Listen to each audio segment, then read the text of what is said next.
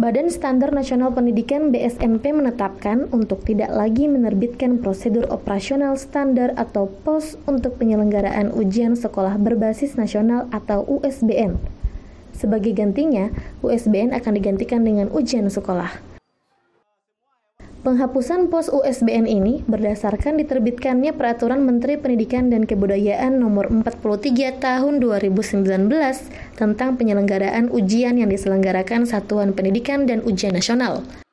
Sehubungan dengan diterbitkannya Peraturan Menteri Pendidikan dan Kebudayaan Nomor 43 Tahun 2019 tentang penyelenggaraan ujian yang diselenggarakan Satuan Pendidikan dan Ujian Nasional Badan Standar Nasional Pendidikan menyatakan satu peraturan BSNP nomor 0051 garis miring P garis miring BSNP garis miring Romawi 11 garis miring 2019 tentang POS UN tahun pelajaran 2019-2020 tidak berlaku.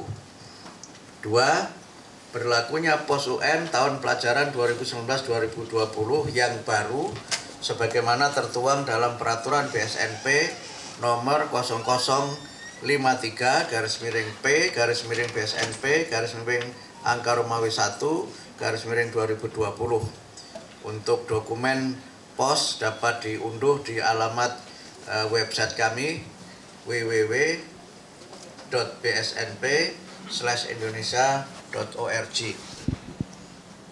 Tiga, uh, BSNP tidak lagi menerbitkan pos USBN. Kemudian yang keempat, pelaksanaan ujian sekolah merujuk pada Peraturan Menteri Pendidikan dan Kebudayaan Nomor 53 Tahun 2015 tentang penilaian hasil belajar oleh pendidik dan satuan pendidikan pada pendidikan dasar dan pendidikan menengah. Sebagai catatan, perubahan atau perbedaan antara pos UN lama dengan pos UN baru disajikan dalam lampiran yang merupakan satu kesatuan dari siaran pers ini. Selanjutnya, Abdul Muti menjelaskan untuk soal ujian akan dibuat oleh sekolah masing-masing dengan mengacu pada Permendikbud nomor 53 tahun 2015 tentang penilaian hasil belajar oleh pendidik dan satuan pendidikan pada pendidikan dasar dan pendidikan menengah.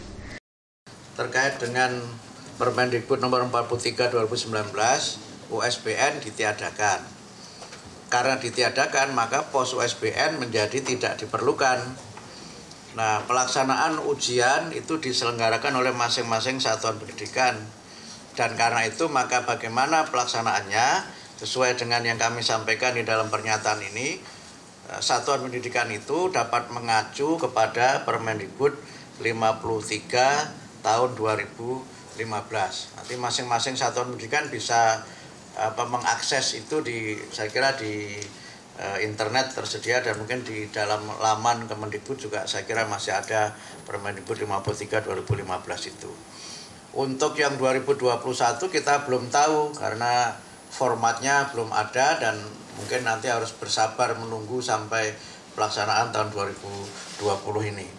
Jadi kami masih fokus pada pelaksanaan atau penyelenggaraan UN tahun 2020 untuk 2021 nanti harus kita komunikasikan dulu dengan pihak Kementerian Pendidikan dan Kebudayaan mengenai formatnya dan bagaimana pelaksanaannya.